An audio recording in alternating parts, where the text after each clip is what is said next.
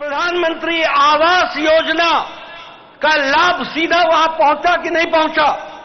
अगर पहुँचा है तो पक्का मकान बना कि नहीं बना? और अगर बन गया है तो आज उसके जीवन में कितना लाभ हुआ है, यह भी हमको पता लगना चाहिए और बताना भी चाहिए। हमें जाकर के देखना है कि आयुष्मान भारत की स्कीम को जिस तरीके से जगनमोहन रेड्डी ने आरोग्य श्री में बदल दिया। वह स्कीम, जगनमोहन की स्कीम नहीं है। वो नरेंद्र मोदी की स्कीम है। इसको भी हमको समझना चाहिए कि अगर इसका नाम आयुष्मान रहता, वहाँ तुमको दिल की बीमारी होती और तुम्हारा ऑपरेशन होता तेलंगाना में तो आयुष्मान भारत रहेगा तो तेलंगाना में पेमेंट हो जाएगा।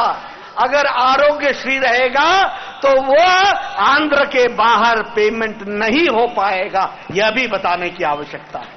किसान सम्मान निधि, छह हज़ार रुपए साल का, दो लाख करोड़ रुपए पहुँचा दिए गए हैं। आंध्र में भी बड़ी संख्या है।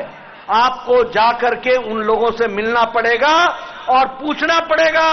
जब प्रधानमंत्री मोदी ने शिमला के रिज मैदान से 31 तारीख को एक बटन दबाया और 10 सेकंड के अंदर 10 करोड़ किसान के खाते में तेईस हज़ार करोड़ रुपए पहुँच गया।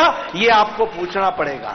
सबका विश्वास और सबका प्रयास का मंत्र लेकर के हम चल पड़े। हम कोई शॉर्टकट नहीं लेंगे। मेरी बात याद रखना दोस्तों, जो मैं आपको रास्ता बता रहा हूँ, इस रास्ते पर आप चलो।